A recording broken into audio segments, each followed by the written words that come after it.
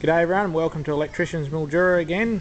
We're just here out at, uh, out at one of our projects we're working on again. Just uh, the boys have done a bit more work uh, since we were in here last so I just wanted to come out and quickly show you uh, a little bit more work. You can see the boys have done some power point work and uh, running the cables around at the moment. Just about to start the light switches. There's a light switch bracket there just coming through into a, uh, a butler's pantry so as you can see we're just running the power points and, and everything ready for um, this uh, the butler's pantry I'll just uh, pan around there.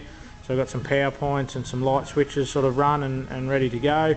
Uh, just moving out into the kitchen area we've got some other power points and cabling run for dishwashers and and what have you. So there's some of the things that sometimes people overlook. So uh, as you can see we've got um, yeah, just want to give you a quick look at uh, what we're doing and running the wires in round and through the house. So um, got the hot plates and, and stove wires all run, range hood, that sort of thing all run, so all clipped to the roof.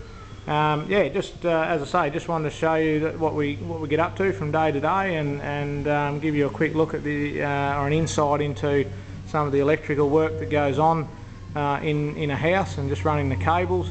Just trying to pan through a bit and uh, give you a little look there. Uh, the boys drill the holes through the top plates and bring the wires down the wall cavities uh, down into the, the power points.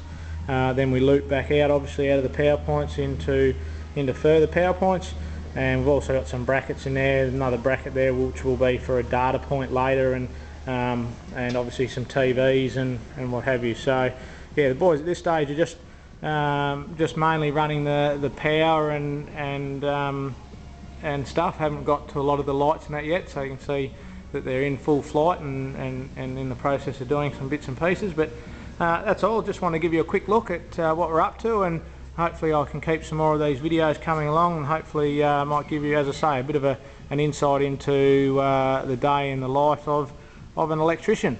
Uh, thanks for watching and uh, yeah, talk to you again soon. Bye now.